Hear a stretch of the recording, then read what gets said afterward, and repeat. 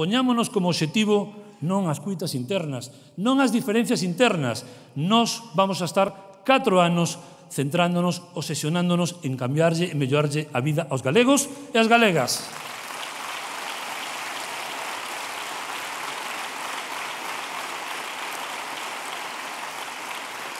E para iso, compañeros e compañeras, non sobra ninguén.